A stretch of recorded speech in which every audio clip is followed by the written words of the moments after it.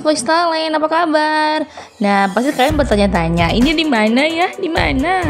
Ini Toja Una-Una guys. Nah, Toja Una-Una dikenal sebagai salah satu daerah di Sulawesi Tengah yang menawarkan banyak tempat wisata.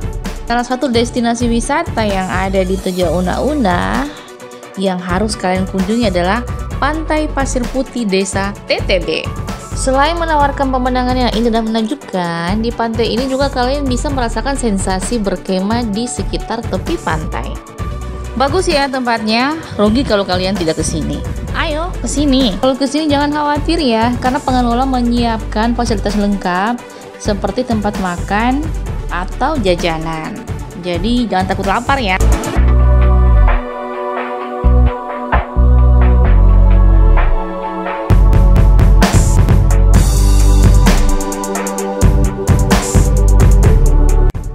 Yang serunya lagi soal voice talent Buat kalian yang suka selfie-selfie, foto-foto sendiri, foto bersama keluarga, pacar Jangan khawatir, di sini banyak spot menarik buat foto Guys, Buat kalian yang ingin berkunjung ke pulau-pulau lain seperti Pulau Buka-Buka, Pulau Pasir Panjang, dan Pasir Timbul dari sini kalian sudah bisa menyeberang karena pengelola menyediakan perahu untuk berkunjung ke pulau-pulau tersebut. Wow, keren ya!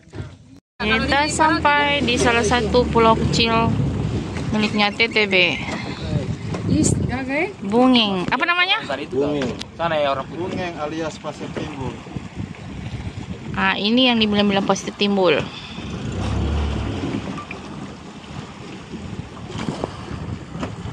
Wabarakatuh bersama kami masih di TTB tapi kali ini tempatnya lebih berbeda wow luar biasa di Pulau Bungeng oke South Voice Talent eh, kita di Pulau Bung- Bungeng wah agak sedikit ribet bilangnya ya ini tempatnya bagus sekali dan sekarang di samping saya sudah ada salah satu anggota dari Pok Darwis ya Iya, Apa siapa dengan Bapak Ramadan. sapa dulu dong sahabat Fiti Halo, saya Ramadan dan saya motoris dari Pok Darwis. Iya, Bapak Ramadan yang tadi ya? Iya, Pak. Oke, Bapak Ibu. Ramadan ini kan motoris, Mm. mungkin eh, membawa penumpang di speed ya. Iya. Nah, itu eh, untuk speednya sendiri itu tersedia ada berapa yang untuk pengunjung nanti? Kalau mau ke sana, mau ke mau ke sini, Hmm. atau mau ke pulau lain itu ada berapa perahu? Eh, biasanya kan kita Kalau ke kalau sana dong. kalau kita banyak penumpang, banyak tamu, Ya. kita juga gunakan perahu masyarakat. Heeh. Terus kita bagi sekian untuk ke masyarakat, sekian juga untuk sama kita kan. Eh, dari pantai sana ke sini budgetnya itu 10.000 per kepala untuk PP. Terus itu bukannya untuk kapal sendiri itu dari jam berapa sampai jam berapa? Oh, itu stay-nya dari pagi jam 7 sampai sore jam 6 paling. Pagi sampai jam 6 sore. Iya, jam sore. Oke. Nah, ada tidak Pok Darwis sediakan seperti pelampung ya? Oh. Uh-uh. Ketika pengunjung mau ke sini atau ke pulau lain. Mungkin untuk sebagai penanganan penyelamatan ada tidak disediakan di setiap speed? Kita adakan pelampung sekitar 30 pelampung. Hmm, Terus setiap kita antar tamu yang dekat atau yang jauh kita harus pakai kan. iya, kita pakaikan. Karena mengingat kita tidak minta-minta kenapa-kenapa di jalan, ombak Iya, besar betul. perahu tenggelam. Ini sudah ada pertolongan pertama minimal pelampung lah. Iya. Karena pasti mereka tanya mana pelampungnya, Iya. kan tidak tahu ini kondisi keadaan laut seperti apa. Nah, South Boys Talent, eh, jadi buat masyarakat Tojo Nauna yang mau ke TTB, mungkin selain merasakan eh, destinasi di sana, kita juga bisa mengunjungi pulau-pulau di sini seperti Bungeng, apa lagi? Buka, apa lagi? Pasir panjang. Pasir Panjang. Nah, seperti kita sekarang kan sudah berada di sini di ya, di Bungeng. Bungeng. Dan ternyata Sobat Siti ini tempatnya pasirnya wow keren. Terus eh, batu-batunya juga ini kalau menginjakan di sini serasa tidak ingin pulang. ini kalau bermalam di sini kayaknya bagus juga ya kalau pakai tenda. Iya, Gimana? Bagus, bagus, bagus. Ada pernah nggak tidak pengunjung ke sini sudah bertenda di sini? Pernah dua kali Wah, Nah. itu sampai malam mereka sampai malam. sampai pagi ya? Tapi kita kita pelajari dulu airnya Iya. apakah malam itu surut Apa atau mereka naik. tidak takut? Tidak karena ditemani sama masyarakat. Oh biasanya. iya. Oke. Dan juga tadi kita ke sini tidak, pakai pelampung Iya. dong, Mas. Kok tidak disediakan sih? kan kita takut tenggelam. Iya, Bu. Kan dekat juga. sudah mengikuti kegiatan kita sampai di Pulau Bungeng. Selanjutnya ikuti terus Voice Talent. Terima kasih. Terima Om. kasih. Bu.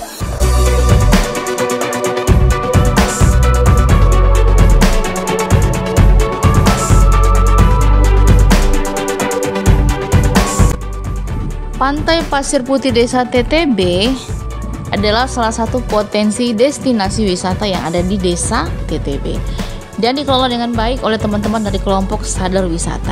Nah, Satwa Talent, ikuti perjalanan kami karena kita ada bincang-bincang santai dengan Ketua Pokdarwis Desa TTB. Assalamualaikum warahmatullahi wabarakatuh dan selamat uh, berjumpa lagi untuk sahabat Voice Talent. Nah, untuk konten kali ini kita berada di Pasir Putih TTB. Iya. Di mana Pasir Putih TTB ini bisa dibilang sudah sangat viral ya kayu dia di Ampana atau Una. Bukan cuma Ampana dan sekitarnya, tapi udah sampai ke kabupaten lain. Karena sudah banyak pengunjung dari luar. Oke, eh, sahabat Voice Talent bersama saya Yudhistira, Saya Vivon dan saya Smile.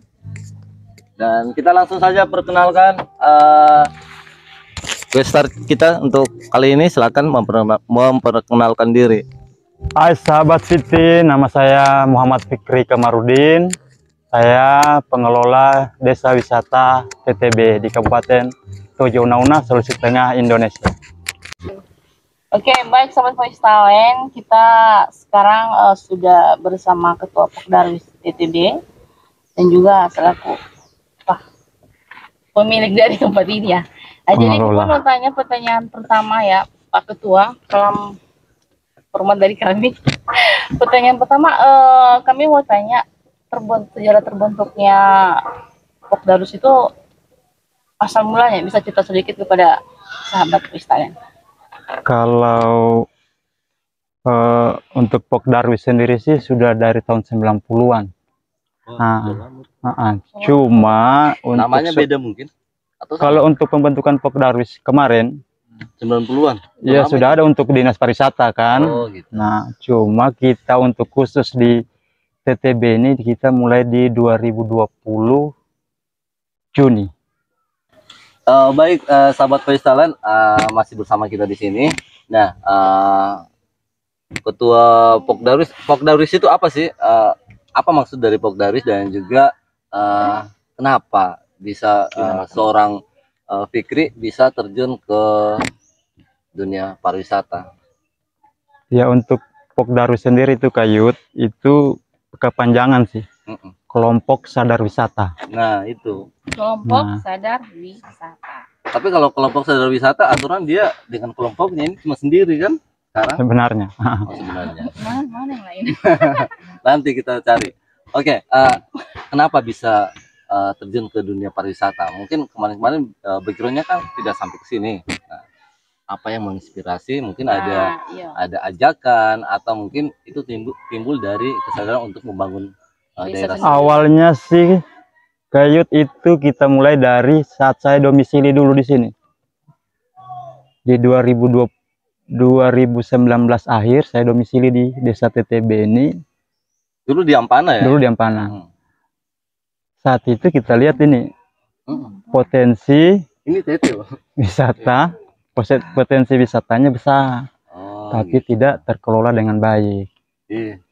Eh, dari rentang waktu dari 2020 sampai saat ini, nah bisa cerita prosesnya gimana sih sampai bisa jadi sebesar ini dalam arti kata eh, bisa sekarang udah berpenghasilan dan juga bisa eh, memberikan apa ya istilahnya eh, keyakinan bahwa saya bisa hidup dengan teman-teman yang masyarakat dari eh, dunia Pariwisata. pariwisata. mungkin perjalanan jatuh bangun pasti ada ya pasti Ya, biar di- menginspirasi ya, teman-teman luar sana.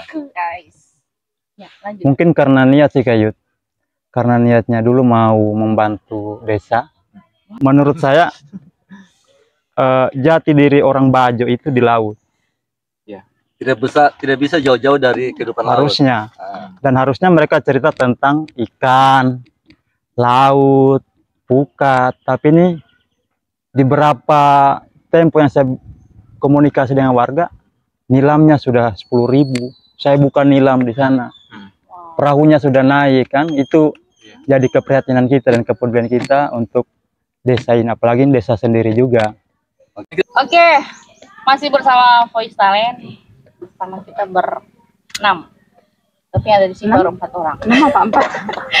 Oke, se- sekarang Tiwan mau tanya eh, Pak Ketua. Izin Pak Ketua. siap Eh, ini kan ada tidak kemarin-kemarin ketika proses terbentuknya Popdarus ini tantangan-tantangan yang harus dilewati? pastinya pastinya banyak tantangan banyak su lebih banyak duka daripada sukanya pada saat itu sudah mulai naik-naiknya COVID. ya, Ah, ah. Jadi begitu teman-teman lagi semangat-semangatnya, Hmm, kita terhalang dulu dengan peraturan-peraturan banyak sekali itu. hmm. Dari pariwisata, kesehatan, ya utam, paling utama itu Banyak. ditutup. ah, ah, destinasi yang ditutup. Mm. Kemudian banyak juga program-program kita yang kemarin dari kementerian itu banyak kena rekonfusing. Jadi memang banyak dukanya. Karena untuk sampai ke kementerian kan seperti kita tahu itu agak sulit. Begitu kita dapat ternyata kena rekonfusing. Jadi seperti itu. setelah PPKM level berapa ya? Tiga sudah mulai di ini ya, Mm-mm. di- diturunkan levelnya lah seperti itu. Level Ya. eh, kemudian COVID sudah menurun, dibolehkan kembali destinasi dibuka, itu Pokdaru sendiri Pak Ketua melakukan Mm-mm. apa terbosannya? Saya mau cerita dulu di waktu COVID-nya, Kak. Oke. Nah, justru di COVID-nya ini lebih kita eh, banyak program tapi lewat banyak Zoom meeting. Hmm. Jadi banyak kita belajar ketemu. ilmunya ah, ah. ya.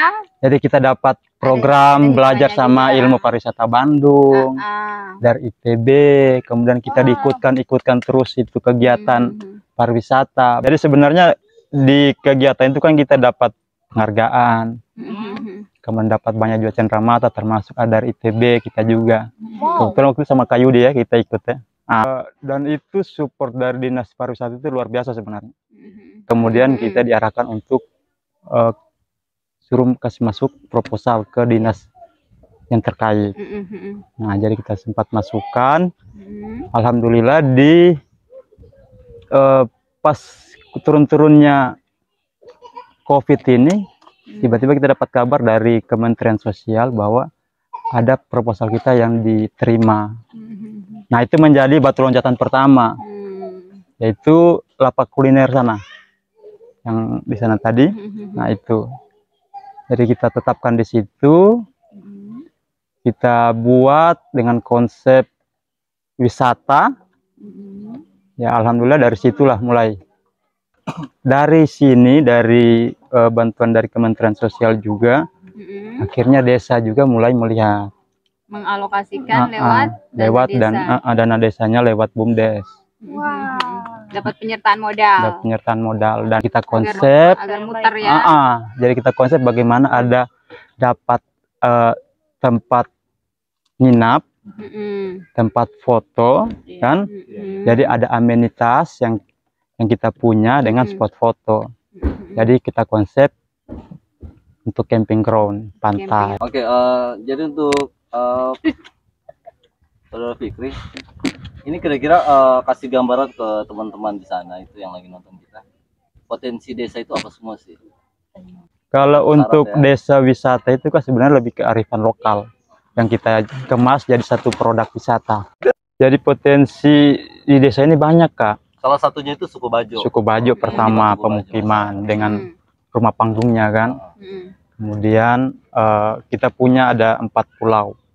Jadi ada pulau dua, Mm. ada Bungeng, ada pulau satu, malah lima dengan Oh, pulau. ntar nanti kita bakal keliling. Mm-mm. Walaupun nggak semuanya ya. Iya ya siap.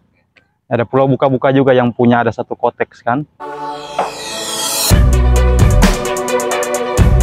Demikian obrolan santai kami dengan Ketua Pordarwis Desa TTB. Luar biasa, penuh inovasi dalam mengembangkan segala potensi wisata yang ada di Desa TTB. Dan bisa jadi motivasi untuk kita semua dalam mengembangkan segala potensi yang ada di daerah kita masing-masing. Terima kasih dan sampai jumpa.